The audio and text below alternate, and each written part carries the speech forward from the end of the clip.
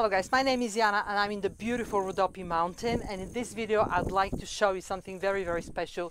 This is the fleece they call haliște here. Haliște, actually it's a kind of a woolen blanket made of real sheep wool of course. I'm in the beautiful village of Vrbovo and I wanted to show you something that's very very typical of the Rodopi mountain.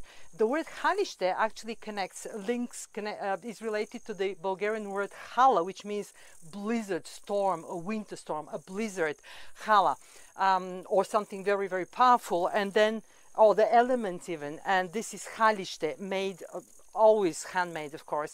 Now uh, the Rodopi mountains are a very very special place. This is the only place in Bulgaria you can have where you can find combination of plaid and bagpipe music okay? They're very very famous for their fabulous food fabulous music fabulous customs and traditions long history and the lovely lovely wonderfully hospitable and fabulous people. Now I wanted to I wanted to show you a little just to give you a little sampling of the Rodopi mountains. I'm here at 1600 meters actually you can see houses down there. These are the former municipal buildings okay and the library and the, uh, the cultural center of the village of Vrbovo now the village is unfortunately empty. All these houses around are empty because there is only one registered person here and uh, officially registered and only one permanent uh, resident uh, in the village. Uh, it's absolutely fabulous. I hope you enjoyed this video and maybe sometimes you visit the fabulous fabulous Rodopi mountains somewhere near here is the uh, uh, Pamporovo. Um, is the Pamporovo skiing resort. Uh, if you're a skier, you'll be interested in that. You might be interested in that. And uh, also, uh, the Rodopi Mountains actually are the home um, of Orpheus, the mythical Orpheus. Uh, in another video, I uh, said that already, but I'll repeat it. The name of the Rodopi mountain actually uh, links to two mythical figures in Greek mythology. The queen, a Thracian queen who was turned into a mountain by the gods because she was naughty. Uh, and haughty, rather she was haughty, vain and haughty, maybe she was naughty, I don't know, okay, sorry.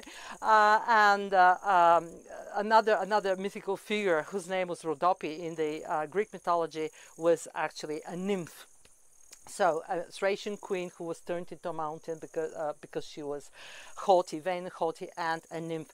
Um, as I said, the, the, place is absolutely fantastic. Their food is unforgettable. Their music is uh, actually the echo, the Rhodopian echo. Their their music, their songs uh, remind you of the echo because you stand for on one ridge of the mountain and you shout uh, to the other ridge of the mountain where maybe is your uh, love okay? At least this is the legend. So the Rodopi music is long and slow and, and sometimes very sad and it just hits you in the card.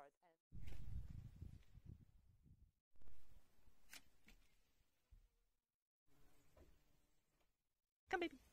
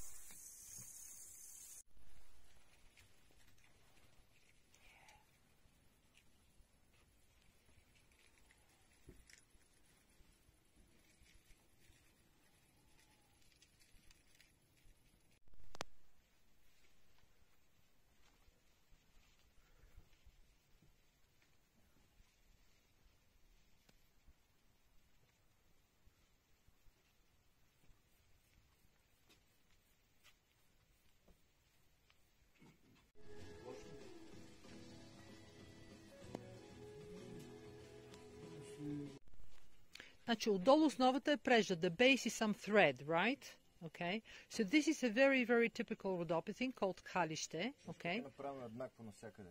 Да. А отгоре е, а, отгоре е fur. от овца. Козена от овца. Sheep wool.